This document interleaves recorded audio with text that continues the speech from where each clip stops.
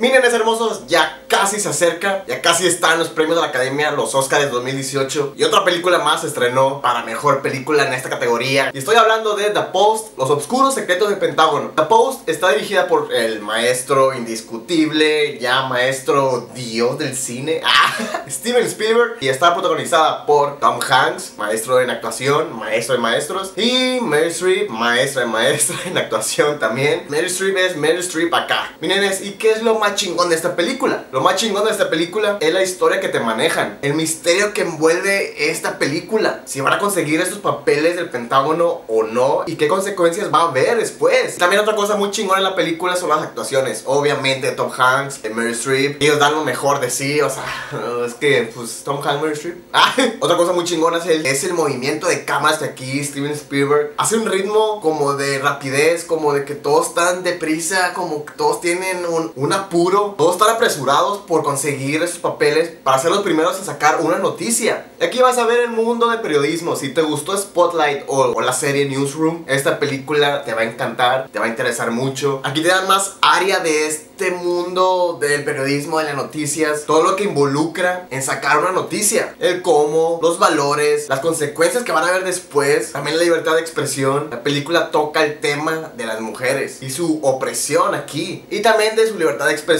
porque aquí vemos la vida de la protagonista que la hace Mary Streep, que es una mujer emprendedora, poderosa, pero está rodeada de muchos hombres machistas que no la dejan expresarse, que no la dejan hacer muchas cosas. Pero aquí Tom Hanks no está en esa área, en ese circulito de machistas, porque él es bueno. Ah, pero, pero mis nenes, ah, aquí va lo más pincha la película. Sí, mis nenes, es que esta película se siente como la típica película de Steven Spielberg que sí, que es dramática, tiene momentos de monólogos de la protagonista, su momento solo, dicen un speech para que todos se motiven, para que tú como audiencia te motives te exaltes. Pero sabemos que al final todo va a ir bien y más porque esta película está basada en una historia real. Entonces obviamente sabemos lo que pasó, que sí consiguieron los papeles, que pasó lo que pasó. Creo que es mejor Puente de Espías y Lincoln, que también están dirigidas por, por Spielberg, porque esas dos nos dan otra atmósfera más dramática, más de tensión, más oscuro, que no sabemos qué va a pasar el último, aunque también están basados en una parte de la historia americana. Pero aquí tiene como que este tonito de Spielberg, que todo va a salir bien, que no hay ningún problema, que todo se va a resolver rápido. Y pues también las actuaciones de tanto de Tom Hanks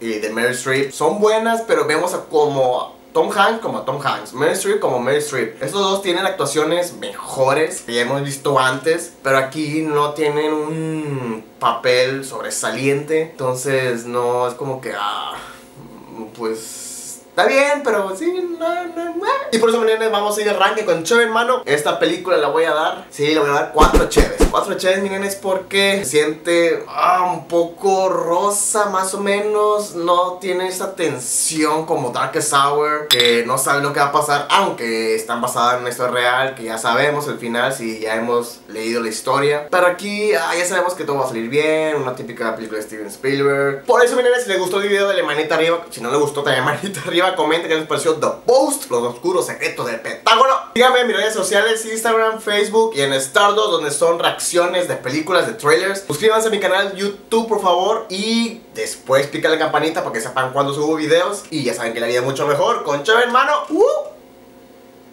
¿A qué me va a chingar esta película? Pues a la hija de Mary Streep, que ahí sale nada más así, nada más unas escenitas para decir que ah, voy a encariñar con el personaje de Mary Streep, pero no hago nada en toda la película. Mm. Pero está bien. Salió en The Glow y es la esposa de, uno de los Franco. Ah. Me enamoré.